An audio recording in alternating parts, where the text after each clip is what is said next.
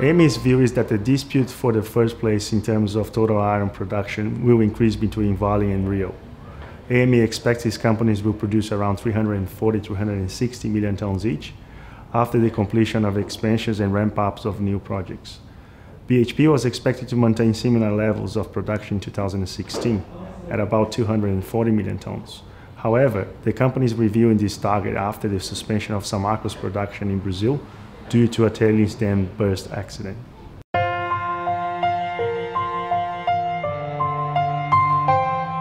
AME expects the Roy Hill project will quickly ramp up production and achieve about 30 million tons of iron ore sales in 2016, completing the ramp up in 2017 to 55 million tons per annum. Anglo's Minas-Rio project should complete the ramp up to 26.5 million tons per annum later in 2016, after producing about 10 million tons in 2015.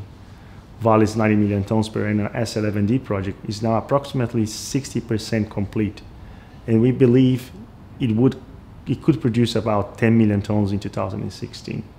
LKAB's expansion in Sweden remain on track to increase output by 15 to 20 million tons per annum of high-grade pellet feed. And in the US, Essar Minnesota Nashwauk project is expected to start production later in 2016 but AME believes initial production could be further delayed due to lower domestic iron ore prices in the region.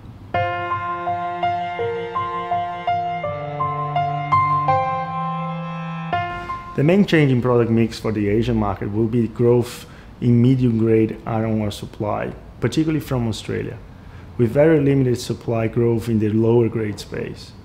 The replacement of Chinese iron ore concentrate production by more Australian coarse sinter fines should reduce the amount of ultra fines in the sinter feed plants, as well as a small decrease in the average sinter feed iron grade. As the level of impurities increases, steel producers will probably have to deal with higher levels of slag in the blast furnace or increase the amount of higher grade ores in the blend.